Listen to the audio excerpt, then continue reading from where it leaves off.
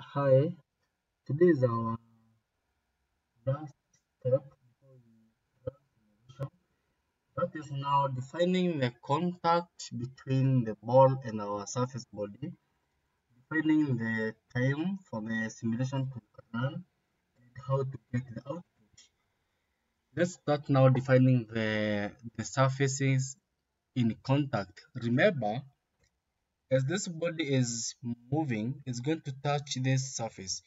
We have to define how this body is touching the surface.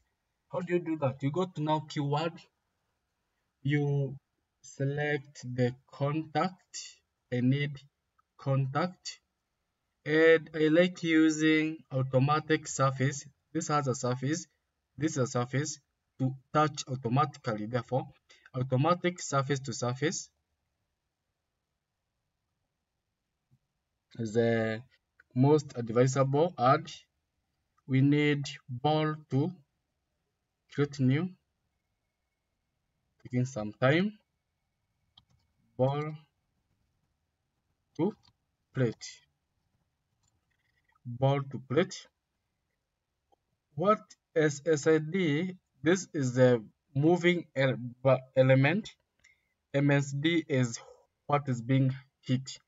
In this case SSID is our slave, you can see slave segment is what is moving. It is the ball moving. Then for this one is a, the part being impacted by the ball. For the type, we need to use a part ID and for the fixed part to use also part ID. Therefore, I have to use ball here, done. MSID, I have to use plate shell done. For the static coefficient of friction, I'm going to use 0.2 and for the dynamic friction coefficient, I'm going to use a 0.1. I think those are enough. You accept done. taking some time. Then you go back now to define control. Is where now you define the time. We need to define the time to use I'm looking for termination. After how many seconds will, will our simulation terminate? Termination of I want to use a 0.1 milliseconds.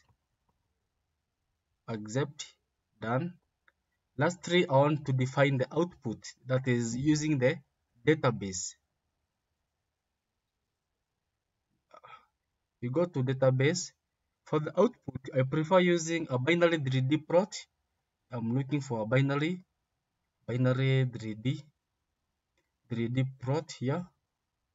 Want to use this binary 3D plot. Done. Accept. Done. A binary 3D plot. That should be okay.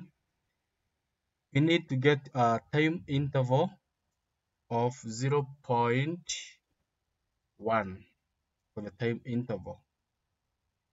Accept done. That's all we need to do. The next thing is to run the simulation.